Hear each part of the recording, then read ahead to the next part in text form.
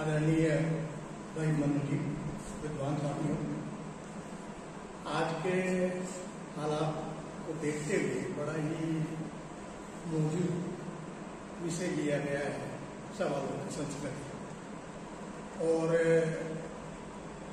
कोई भी जो चीज़ उठाई जाती है, वो इसलिए उठाई जाती है कि उस पर कहीं भी जो है अंधकार छाया हुआ है। बार बार सत्य बोलने की बात उठाते हैं, इसका मतलब है झूठ का बोलबाला है, इसलिए कहा जाता है कि सत्य बोलो। तो सवालों की संस्कृति पर जो बात रखी है, मैं सोचता हूँ कि इसीलिए रखा गया है, जन सरोकार मंच द्वारा कि जो भारतीयों की, खास तौर से संस्कृति रही है वाद संवाद की, उसमें थोड़ा सा ग्रहण सा लगे इसमें मैं दो किताबें आपको सजेस्ट करूँगा, अगर आप पढ़ना चाहें। भारतीय संस्कृति की वार्ता जिसमें वाद संवाद को बहुत प्राचीन काल से इतना संरक्षण दिया है अपनी बातें कही गई है। तो अमृत सेन ने लिखी है आर्गोमेंटेटिव इंडियंस। और दूसरा अभी बहुत ज़्यादा समय नहीं हुआ। रवीश कुमार के है बोलना ही गणतंत्र खैर तो देखिए, आज मनुष्य जिस अवस्था से निकला है और जिस अवस्था तक पहुँचा है, वो जिज्ञासा है उनके मन में उठी, प्रश्न उठे और उनकी खोज में लगा रहा और परिणामतः वो समुद्रों को भी लांगने लगा। ऊँची ऊँची चोटियों को लांग कर दूसरे देशों में भी जाने लगा। और हर तरह के अपने जीवन को समृद्ध बनाने के प्रयास करता रहा और वो उसके पीछे जो कारण है, वो मनुष्य के अंदर जो छिपी जिज्ञासा है, प्रश्न है, उनको ढूंढना। अब बात करते हैं कि सवालों की संस्कृति भारत में। तो मनु जी की बात का समर्थन करते हुए मैं कहता हूँ कि हमारे यहाँ वाद संवाद को बहुत तरजीह दी गई है, ऋग्वेद में भी ईश्वर के अस्तित्व पर भी प्रश्न उठाया गया उस जमाने में ही उठा दिया गया। किस रूप में है, कहा है, कैसा है, क्या करता है है या नहीं है?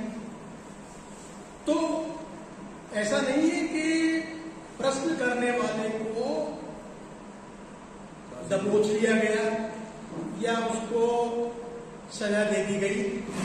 प्रश्न रखे गए, शास्त्रार्थ हुए और इन शास्त्रार्थों में, वाद संवाद में केवल पुरुषों की ही भागीदारी नहीं रही, महिलाओं की भी, जैसे गार्गी और मैत्रेयी का नाम आता है, उन्होंने भी लंबे लंबे शास्त्रार्थ किए हैं।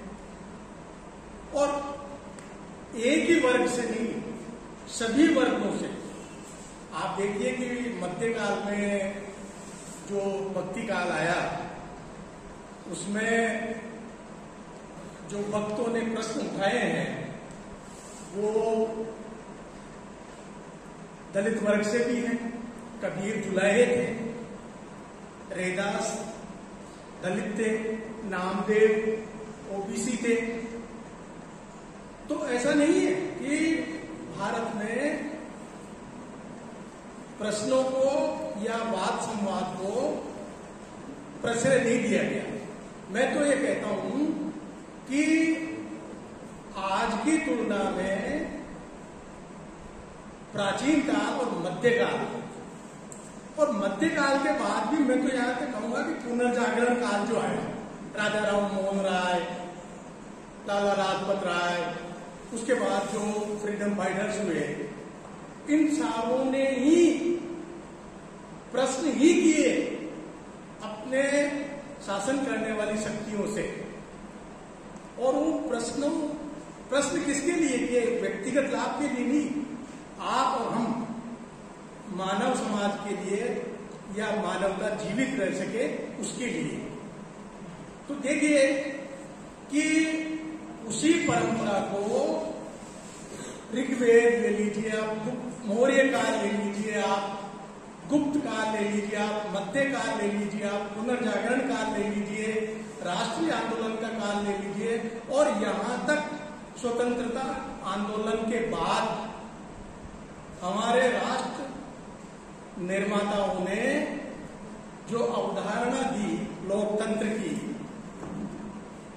वो इतनी विशुद्ध थी जिसमें सभी लोगों के मतों का स्वागत करने की बात कही गई और सभी लोगों के मतों को लेकर चाहे वो समाजवादी रहे हों, चाहे वो साम्यवादी रहे हों, चाहे वो कांग्रेसी रहे हों, चाहे वो अंबेडकर रहे हों, सभी की राय से एक बड़ा उदार लोकतंत्र के लिए एक संविधान बनाया जिसमें हमें पूर्ण अभिव्यक्ति की आज़ादी दी।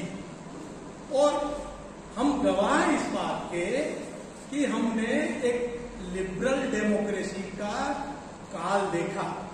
दो चार एग्ज़ाम्पल मैं आपको सुनाना चाहूँगा। शायद आज की परिस्थिति में वो संभव नहीं है। नेहरू को काल की बात बताता हूँ मैं आपको। एक बार देखा नेहरू जी बहुत बहस होती थी वहाँ पार्लियामेंट और उसकी पार्टी, उनकी पार्टी के जो सांसद थे, वो भी उनको बहुत घेरते थे महावीर त्यागी, बहुत बड़ा नाम। फिरोज गांधी तो उनके दामाद थे, और कांग्रेस ही थे। लोहिया। तो क्या हुआ कि धीरे धीरे ये जो लोहिया और ये जो पीढ़ी धीरे धीरे कम होती गई, बोलना कम होता गया तो नेहरू ने सोचा कि मज़ा नहीं आया। तो उसने क्या किया, एक छद्म नाम, चाणक्य के नाम से लेटर टू एडिटोरियल छपवा दिया एक अखबार कि क्या नेहरू तानाशाह होता जाता है अब वो छप गया कि भाई जो है देखिए नेहरू का विरोध कोई नहीं करते और नेहरू जो बोलते हैं यहाँ मेरा और नेहरू नहीं छपवाए अब जो नेहरू के नज़दीक थे, उनको थोड़ी ठीक नहीं लगी बात।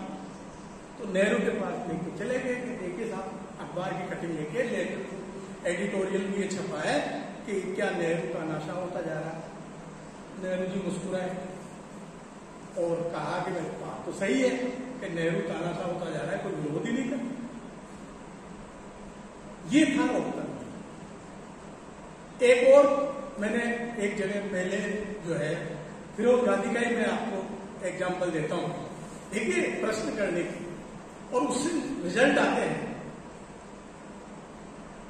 समाज का निर्माण होता है, समाज के लिए काम होते हैं। फाइनेंस मिनिस्टर थे टी कृष्णामाचार्य बजट बनाने में उनसे कोई एक सूचना लीक हो।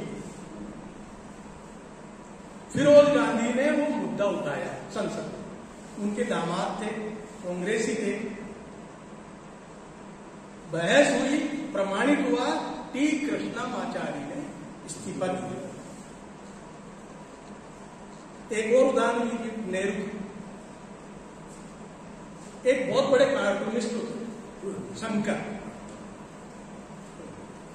किसी बात से नाराज़ होके, नेहरू की किसी बात से नाराज़ होके, किसी नीति से नाराज़ होके, नेहरू का गधे के रूप में कार्टून बना देख पेपर आप देखिए नेहरू की बात।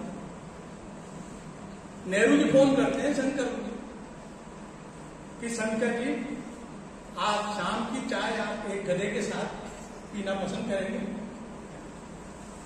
वो आए, चाय पी, और आप देखिए कि उस कार्टून की न चर्चा शंकर ने की, न नेहरू ने की।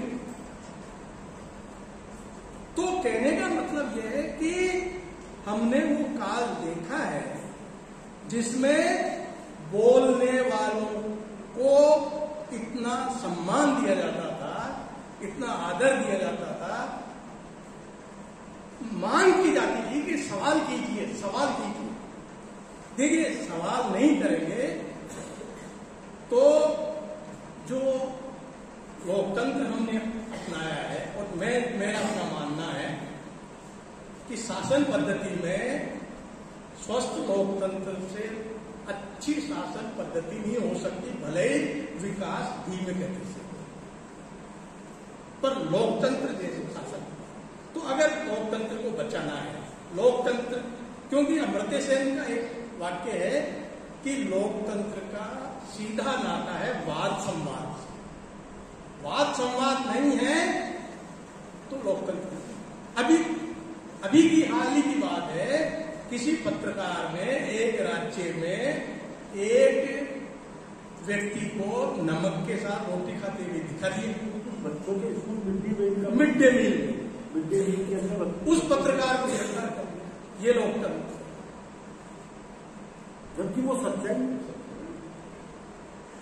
एक और अभी की बहुत ज़्यादा पुरानी बात नहीं है। एमपी में कुछ पत्रकारों ने शासन के खिलाफ लिखा, पुलिस वालों ने पुलिस स्टेशन पे बुलाकर सारे आठ दस पत्रकारों को केवल कच्चे में, है ना, उधर बैठक लगाई, फ़ोटो खींची। पुलिस वो वायरल हो गया फ़ोटो। पुलिस वालों के खिलाफ कोई कार्यवाही कार्यवाही किसके खिलाफ हुई? जिसने ये फ़ोटो वायरल किया उसको गिरफ़्तार। तो देखिए वही बात आती है हिटलर वाली बात, कि भाई कम्युनिस्ट था, अभी तो कम्युनिस्टों का घेरा है। अभी तो पूंजीपतियों को घेरा है, अभी तो दूसरे प्रांतों को घेरा है, अभी मेरा नंबर नहीं है। तो नंबर अगर नहीं बोलेंगे तो नंबर सबका। तो मेरा तो कहना यही है कि लोकतंत्र को अगर रखना है तो बोलना ज़रूरी है। यहाँ पर जो है एक कविता दो चार लाइनें हैं उनको सुना दूँ मैं। क्योंकि ज़्यादातर तो आजकल उलझा दिया मंदिर मस्जिदों में। है ना? बस इसके अलावा बात करोगे आप बेरोजगारी की अर्थव्यवस्था की महँगाई की तो या तो आप देशद्रोही हो या पाकिस्तान परस्त हो या फिर और भी ज़्यादा हो तो हिंदू विरोधी है? तो बहुत अच्छी कविता लिखी है। मंदिर मस्जिद पर ही है। हालाँकि इस सब्जेक्ट से लेना देना नहीं है पर इस तरह से लेना देना इसलिए है कि अगर बोलेंगे नहीं तो यही हाल। सवाल जो है। सवाल। ये किसने ने लिखी है? देखिए मंदिर से पहले मस्जिद थी। मस्जिद से पहले मंदिर था। उस मंदिर से पहले क्या था? एक खेत था शायद। धान का होगा या गेहूँ का? सबकी भूख से रिश्ता था। भूख का कोई मज़हब नहीं है। वो खेत कब का जब्त हुआ? उस खेत के लिए कौन लड़ेगा। खेत से भी पहले क्या था? अल्लाह राम के नाम से पहले, काबा, काशी धाम से पहले, राम राम सलाम से पहले, शायद घना एक जंगल था। जंगल में सब मंगल था। आदम अभी आदमी नहीं था। उसे आग लगानी नहीं आती थी। आग का कोई मज़हब नहीं है। वो जंगल जलकर राख हुआ। उस जंगल के लिए कौन लड़ेगा? उस जंगल के लिए कौन लड़ेगा? जंगल से भी पहले क्या था? सांप सांप, करता कहकशा था। हरसुम सिर्फ़ धुआँ धुआँ सा था। तू कहाँ था, मैं कहाँ था? ना कोई हिंदू, ना मुसलमान था। ना किसी का नामो निशा था। बेनाम बेनामो निशा का कोई मज़हब नहीं था। वो कह कशा अब देरो हरम हुआ। कह कशा के लिए कौन लड़ेगा? कह कशा के लिए कौन लड़ेगा? देखिए इससे तो अच्छा था कि अभी आपने कहा कि भाई सामंती थे और बोलते नहीं थे ऐसा नहीं है। आ, मुगल सम्राट मुगल काल में भी देखिए अकबर सभी धर्मों धर्मावलियों को बुलाकर धर्म की चर्चा करता था। खुलापन था। ऐसा नहीं। बहुत भैंस बुआई से हुआ करते थे। तभी ये, वो जो है उदारता लोकतंत्र, जो भी है, एक उन्नत जीवन, एक स्वतंत्रता, जो मनुष्य का एक नैसर्गिक अधिकार है, वो उसको जीता। तो अगर वही जीना है तो प्रश्न करना सीखना है, प्रश्न करना है चाहे नतीजे धन्यवाद।